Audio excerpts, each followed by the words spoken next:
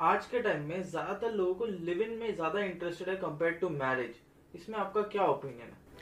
हाँ इसमें मैं बोलना चाहूँगी कि अभी के जनरेशन है वो लिविंग को फॉलो कर रहे हैं because they don't want जॉबदारी they won't want committed commitment husband wife का सास ससुर के साथ रहना नहीं है। तो और ये हमें अमेरिकन कल्चर जो अडोप्ट करने का पहले जमाने से है कि अमेरिकन कल्चर को अडोप्ट करो। American culture is different culture अपने इंडियन कल्चर में शादी इज़ नेसेसरी बिकॉज़ नेसेसरी कि आप एक फैमिली कर सकते हो, कल उठ के आपके चिल्ड्रन कर सकते हो। लिव इन में यू कांट लीगल नहीं है कि आप चिल्ड्रन करो राइट right? तो ये ये एक गलती है ये लिविंग का कल्चर ज़्यादा चलने वाला नहीं है। और ये जो, अभी जो यंग जनरेशन को जो चटका लगा है ना दैट इज़ रियली आगे जाके उनको रिग्रेट होगा।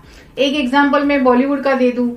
तो बॉलीवुड में आप भी बॉलीवुड का सब लोग फॉलो करते फ़ैशन फॉलो करेंगे ये फॉलो करेंगे वो फॉलो करेंगे। तो मैं बॉलीवुड का बताऊ अभी आलिया भट्ट ने शादी की उसके पहले कैटरीना कैफ ने शादी की। का, का जो भी एक्ट्रेस आप बता दो या एक्टर बता दो सबने शादी की है। हम्म। शादी करके हैप्पी है कोई किसी का ब्रेकअप डिवोर्स नहीं हुआ उन्होंने बच्चे पैदा किए और वेरी हैप्पी मैरिड लाइफ तो अगर बॉलीवुड को भी फॉलो करो तो भी एक हिसाब से वो मैरिज इज़ रियली इम्पोर्टेंट और अपने मम्मी पापा की शादी देख लो कि अगर अपने मम्मी पापा की शादी है तो एक फैमिली एक फैमिली मिलती है।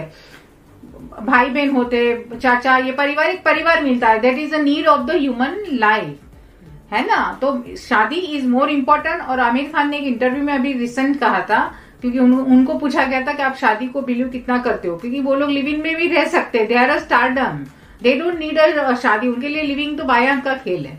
But he said I am very strongly believe in अगर मैं कोई वुमन के साथ रहता हूँ तो मुझे वो शादी में, के बंधन में ही चाहिए। तो उसकी ये सोच है तो आप समझ सकते हो कि ये यंग जनरेशन क्या कर रहे हैं?